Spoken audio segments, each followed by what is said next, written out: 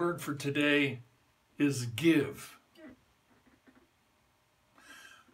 There is a constant flow of giving from a limitless source. That's the nature of God.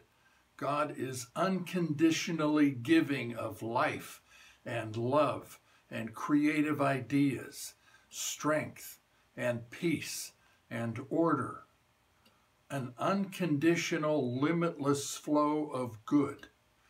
And it combines itself. These different qualities of the divine combine themselves into what exists.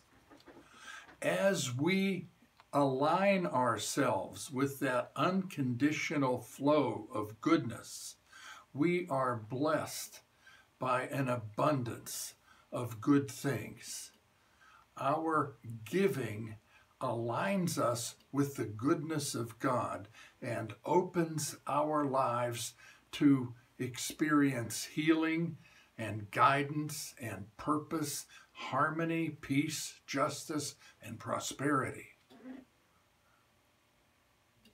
I open my heart to the dynamic flow of life I open my heart to the dynamic flow of God's good. We open our heart, we open our minds, we open our activities to the dynamic flow of God's good.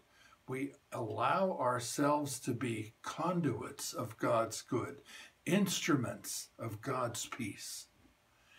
Giving is as natural as breathing. Giving is a quality of being that is rich and enriches us. I give generously with an open heart is the affirmation today. Generosity, gratitude, and grace. Grace is a word that describes the nature of giving. Let us be instruments of grace and give, give with peace.